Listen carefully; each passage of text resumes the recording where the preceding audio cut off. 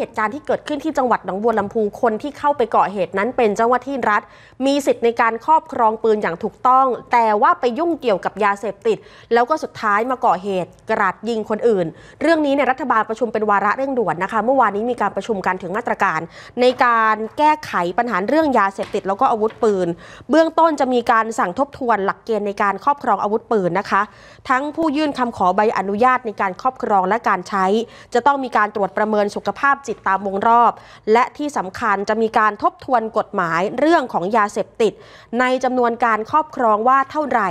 นับเป็นผู้ป่วยที่ต้องเข้าไปบำบัด หรือเท่าไหร่ที่ต้องดำเนินคดีในฐานะผู้เสพและผู้ค้า และนอกจากนี้ดำเนินการเกี่ยวกับ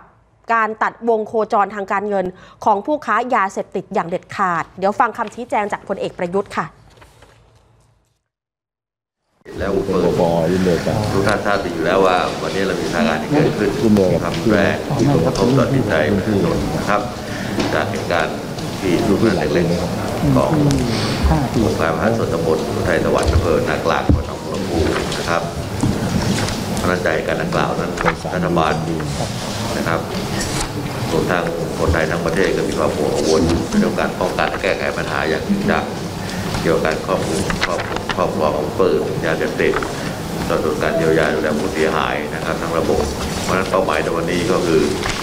หลังจากเกิดเหตุการณ์ที่ขึ้นขอขอบคุณจังหวัดไทยบางประชาติและหน่วยงานที่เกี่ยวข้องได้มีการประชุมหารือในขั้นต้น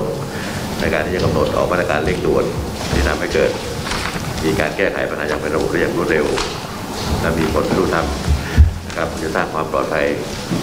ให้กับชีวิตร่างกายและทรัพย์สิน ตลอดจนการป้องกันเหตุที่เกิดขึ้นในอนาคตนะครับเพื่อจะสร้างความเชื่อมั่นให้ประชาชนโดยได้มีการบูรณาลูกการของหน่วยงานเกี่ยวข้องและแยกส่วน ในเรื่องของประเด็นที่เกี่ยวข้องในการประชุมหารือในครั้งนี้ก็คือเรื่องข้อเสนอของในเรื่องอาวุธปืนของจังหวัดไทยของประเทศชาติข้อเสนอการป้องกันและปราบปรามการกระทำผิดเกี่ยวกับยาเสพติดของยุติธรรมนะครับข้อเสนอเกี่ยวกับการบำบัดฟื้นฟูผู้ที่ยาเสพติดกระทรวงสาธารณสุขข้อเสนอการพัฒนาและแก้ไขปัญหาเฉพาะจิตนะครับ ซึ่งจะต้องดำเนินการอย่าง บูรการนะครับ แล้วก็รัดกุมนะครับ จนแล้วก็ให้เกิดผลสำเร็จเป็นรูปเมื่อวานนี้มีการประชุมกันหลายภาคส่วนนะคะ รวมถึงท่านผู้บัญชาการตำรวจแห่งชาติคนใหม่พลตำรวจเอกดำรงศักดิ์กิติประพัฒน์ท่านก็เข้าไปประชุมด้วย แล้วก็จะดูแล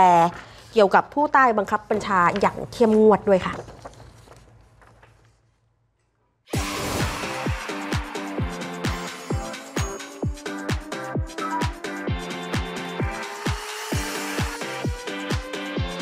ฝากติดตามข่าวเที่ยงอมรินทีวีทุกวัน ตั้งแต่เวลา 11 นาฬิกาเป็นต้นไปทางอมรินทีวี HD ช่อง 34 ที่นี่ที่เดียวครับ